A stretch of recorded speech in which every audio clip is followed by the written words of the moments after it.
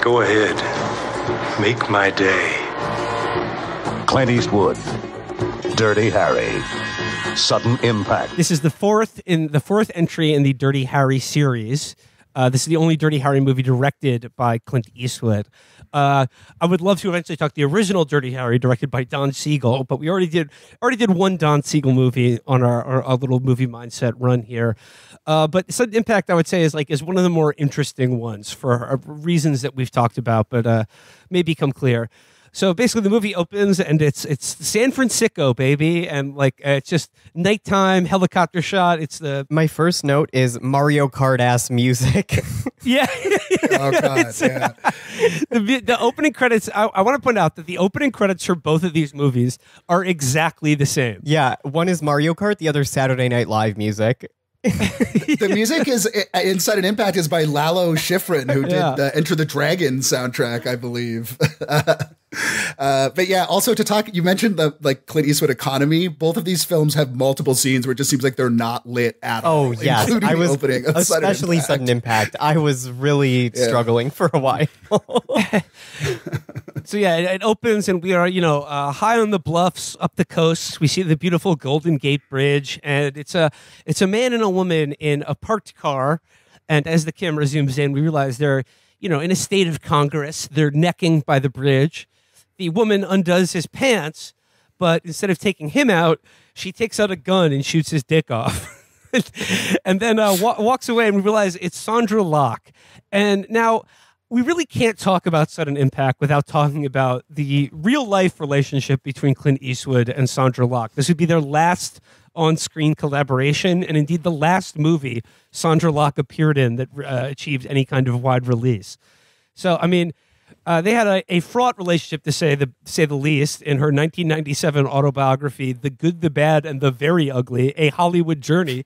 She called Eastwood a completely evil, manipulating, lying excuse for a man. oh my god. Can I say because I literally have that book right here? Yeah. Uh, there, there's an amazing anecdote in that book where she talks about uh, giving a custom. I just posted about this on Twitter, but she gives a custom made wig to a child with cancer, where she like requisitions the Warner Brothers private jet to drive to Shelbyville, Tennessee, to give a wig to a dying child who like loves Sondra Locke, and she spends so much time about like what an amazing person she is, and then Clint's just like, "What the hell are you doing that for? You shouldn't be around kids with cancer." Like just like the most evil version of himself that you could imagine. So yeah, like uh, like they they started their relationship. They made many movies together, and like Clint was uh, uh, Clint was married at the time, already had a couple kids, but it was sort of like I don't know. The companionate marriage, they lived separately, and like Sondra Locke always felt like she was tarred with being like the other woman or breaking up a marriage. Needless to say, uh, you know, by her accounts, Clint treated her rather coldly, and uh, there's a lot of So she, I will blood. say, was mar- she, she was married too to a gay sculptor that she had a platonic marriage with, and this guy ran the game, baby. Like he lived off Clint Eastwood's dime for like a decade. Where like he was like setting Eastwood was setting this guy up at a house in California, and it was like Sondra Locke's platonic husband, this guy named like Gordon Anderson or something like that. Oh, that's so, So, sick. yeah, that's they the had a- dream gig, you know, just Oh, totally, sculpting yeah. like cocks or whatever he was probably sculpting.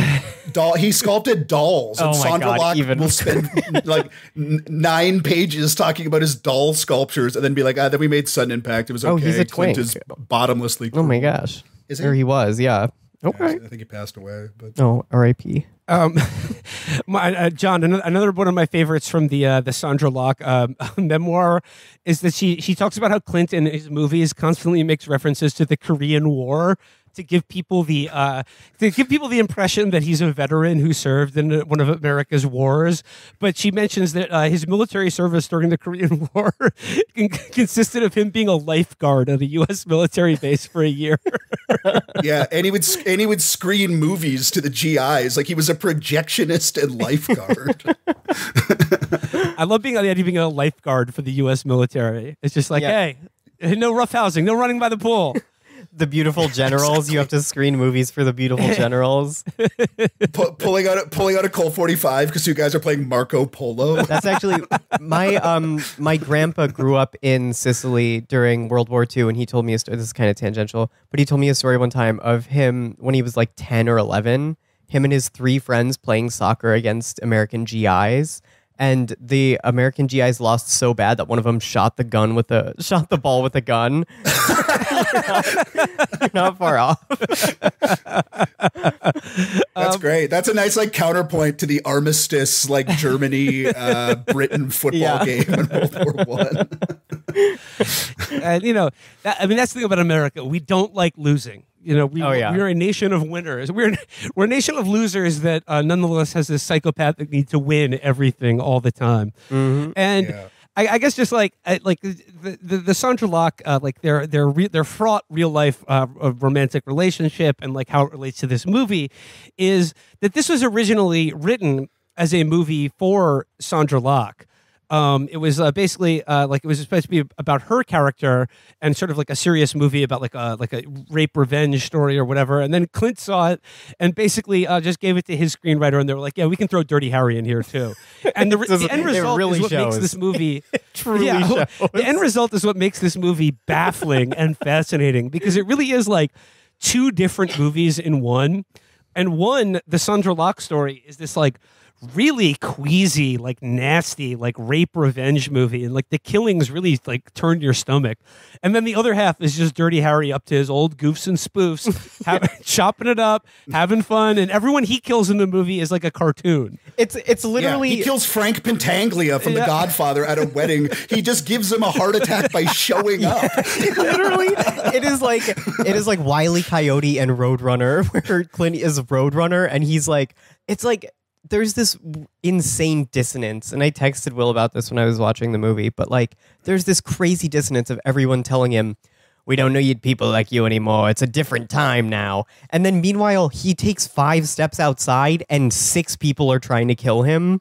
Like Yeah, it's yeah. it's crazy. It's like there's such like, and people are like, "Stop causing trouble." There's like ten scenes where he gets reprimanded for trying for someone trying to assassinate him in the course of like three well, yeah, days. that's that. That, that- that's the thing. Like you mentioned the opening scene, but it's like it doesn't even come back to her character for like 25 minutes. It just Nope. becomes like a Dirty Harry short.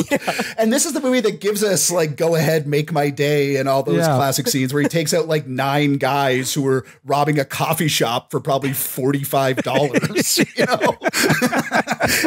uh, but then he he essentially gets put on like forced R and R and goes to this seaside town where the two of them kind of link up, I guess. um, this yeah, is they link and also build in this movie. this is also one of my dad's favorite movies. So when I knew we were doing it, I I texted him. I was like, "We're doing Sudden Impact on the podcast," and he was like, "Okay." Does your dad restore antique carousels for a living? yeah, he's he was really into the carousel parts of the movie. like not you can take or leave the other stuff. And you know like it's it, it, it's it's it's it's like a template like stock plot line in all the dirty harry movies of harry callahan being being chewed out as you said by like a, a procession of like the stupid police commissioner the stupid judge the stupid da the stupid human rights activists and, and social justice warriors. But yeah it's just over and over again clint getting chewed out by being like damn it harry you you can't do this. You're on forced leave. And he's just like what do you want from Yeah. me? Yeah. Burying those criminals cost the city twelve thousand dollars. and like yeah like and the first time we see harry he's like he's he's late to court he like he, he he turns up to court late and like as the judge dismisses a case against some some young punks Yeah. who, like you know as she says he was like we you know in the eyes of the court the evidence you obtained illegally doesn't exist and he For the lets these, these episode, punks out subscribe at and like they try to they try to like slash you know uh, talk, Trap sli- House. talk talk sweet to him in the elevator and he's like to me punk you're dog shit and I'll scrape up dog shit anytime I see dog shit on my shoes. Be careful where the dog long, uh, shits ya. yeah, yeah, yeah. And then John, as you said, then he goes to get uh, his morning coffee, and notices that there's something amiss because the uh, the lady behind the counter just like dumps sugar in it, and he's like, "I've never had sugar in my coffee." And then like, oh, it's For the full It's episode, it's because some, subscribe some at street punks, patreon.com some- slash some young, Chapo uh, Trap black House. youths are robbing this diner. So he just like goes through the back entrance, comes in, and shoots like six guys. And then, of course, that, that's that's when we get the the famous line: "Go ahead, make my day." And what I love about the delivery of that line is that, like, at, at this point, like, it's one of the most iconic Dirty Harry like uh, one liners. and it's like it's not For the first full episode, subscribe at it. patreon.com slash Chapo Trap House. Trap